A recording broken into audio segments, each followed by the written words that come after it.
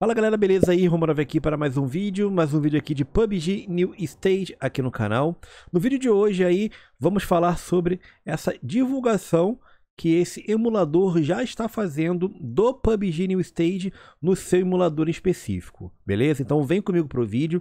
Peço que você, por favor, aí não se esqueça de deixar o seu like, porque o like de vocês ajuda muito a impulsionar e chamar mais pessoas para assistir os meus vídeos. Então, por favor, deixe seu likezão. Se você é novo no canal, está chegando por esse vídeo, seja muito bem-vindo. Se inscreva, porque aqui você vai saber de tudo o que acontece sobre o PUBG New Stage. Então, quer ficar por dentro? Quer saber das notícias, dos vazamentos? Se inscreva aqui no canal, ative aí o sininho de notificações e bora pro vídeo. Vamos lá, pessoal. O emulador que a gente vai estar tá falando sobre é o LD Player. Ele é um dos famosinhos hoje. Tem o BlueStacks, tem o Memo, tem o Game Loop, né? Vários jogos como Free Fire, PUBG Mobile são jogados nesse emulador aqui. E ele tem uma página especial para o New Stage. Você colocar ali PUBG, você vai ver que tem o Mobile, Mobile Lite, o Beta Mobile e o PUBG New Stage, onde ele tem uma página só para ele, o endereço lá em cima, olha, PUBG New Stage, né? Tem a descrição aqui, tem tudo que tem no Google Play, certo? O mapa que vai ser 8x8, aquilo tudo que eu já falei para vocês em vários vídeos. Isso aqui é um copiou e colou, né? Lá da Google Play com as descrições.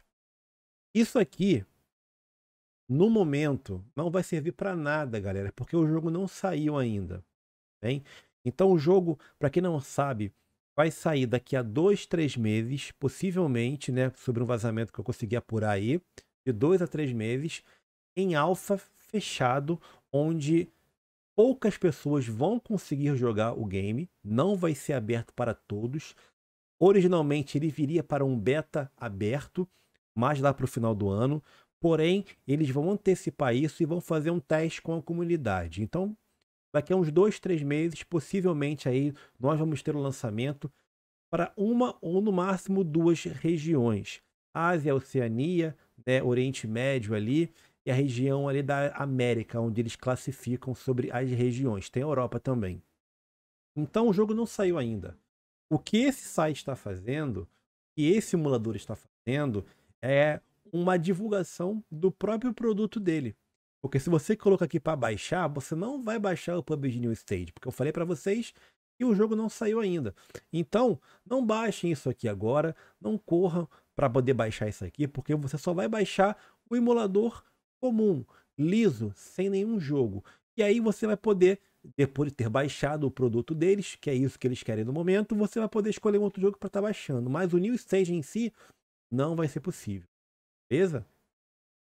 Isso aqui, na minha opinião, é uma grande jogada de marketing que eles estão fazendo para que o povo né, leigo baixe os produtos deles, né? Que baixem o emulador dele. E aí vai ver que não tem o jogo dentro, muitos vão desinstalar, né? E outros vão continuar utilizando para jogar outros jogos.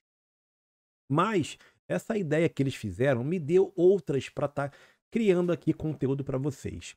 Eu fiz uma pesquisa bem extensa e não encontrei nenhum jogo de mobile que seja incompatível com emuladores.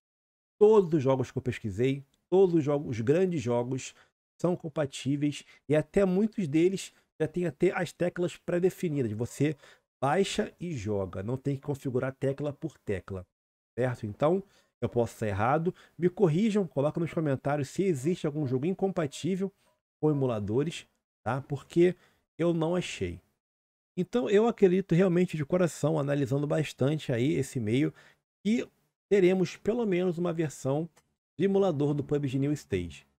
O ideal seria uma versão portabilizada, como a Netese faz, onde eles trabalham com o Cyber Hunter, trabalham com o Beberland e entre outros, onde primeiramente chega uma versão aí de celular, uma versão é, mobile, né? E depois de alguns meses, chega essa mesma versão, com o mesmo gráfico, com tudo que tem no mobile para PC, com a jogabilidade do PC, sem a utilização do emulador. O emulador hoje, ele acaba sendo uma ferramenta de retrocesso, uma ferramenta ultrapassada, porque já existe essa tecnologia que permite com que pessoas jogam, joguem né, o mesmo jogo do mobile no computador sem ter essa mistura, né? E outros até permitem essa multiplataforma entre PC e mobile, beleza? Então assim, na minha visão, no ruim, no ruim, no ruim, nós vamos ter uma versão de emulador, tá? Para que a gente possa estar jogando o jogo. Até porque pessoas vão jogar no emulador, pessoas vão comprar o passe, pessoas vão abrir caixinhas. Então, pessoas vão dar receita para o jogo. E é isso aí, molecada. Se você gostou e curtiu esse vídeo, por favor, não se esqueça também de deixar o seu like, tá? Se inscreva, ative aí o sininho de notificações. Eu vou ficando por aqui. Um grande abraço, fiquem bem aí, até a próxima. Valeu, falou, até mais.